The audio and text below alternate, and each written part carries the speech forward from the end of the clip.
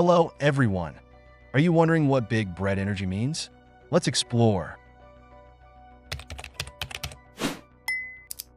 Big bread energy refers to someone who exudes confidence, wealth, and financial success. Bread is slang for money, and having big bread energy means that a person is not only financially well off, but also carries an air of prosperity and abundance. It's about more than just having money. It's about showing it in the way you live, the way you speak, and the way you present yourself to others. People with big bread energy often have a sense of ease and self-assurance that comes from knowing they have financial stability, and they may use their wealth to influence others or enjoy a high-quality lifestyle. In essence, big bread energy is about embodying the confidence that comes with financial success and making sure that energy is noticeable to those around you.